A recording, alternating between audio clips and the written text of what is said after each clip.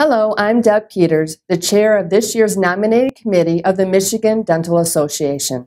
I'm here to talk with you about the nomination process for the 2020 MDA officers and trustees, as well as representatives to the ADA House of Delegates. The 2020 MDA House of Delegates will also elect a new ADA trustee to take office in 2021 following the ADA House of Delegates meeting. The ADA 9th District trustee position is rotated between Michigan and Wisconsin every four years. The job of the committee is to seek out and produce a slate of qualified candidates for the May 2020 House meeting that reflects the diversity of the Michigan Dental Association.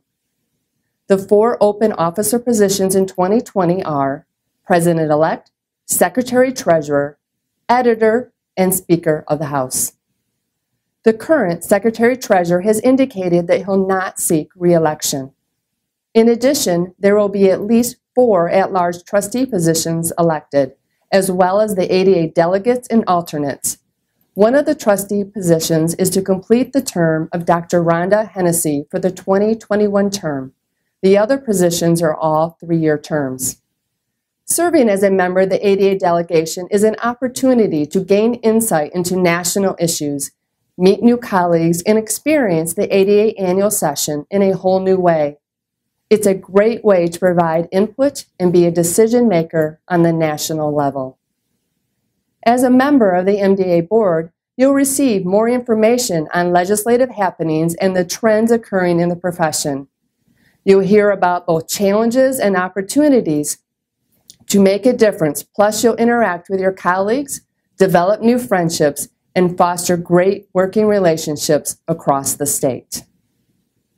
As members of this profession, it's so important to stand out as leaders in our offices, in our communities, and within organized dentistry.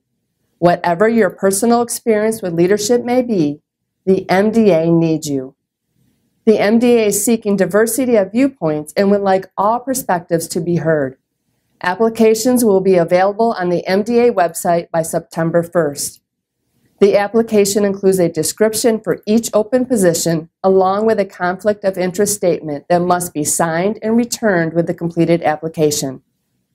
If you have any questions about the open positions, I'm always available to speak with you.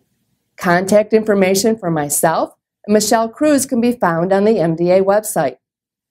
Applications will be in a fillable PDF form that you can save to your computer, fill out electronically, and return via email to MDA's Michelle Cruz, along with a current CV and the completed Conflict of Interest Statement.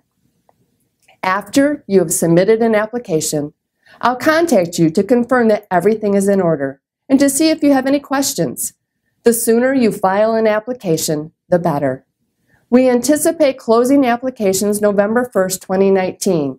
If you're interested in applying for an office after that date, your only opportunity will be submit your name by nomination from the floor of the House meeting in May.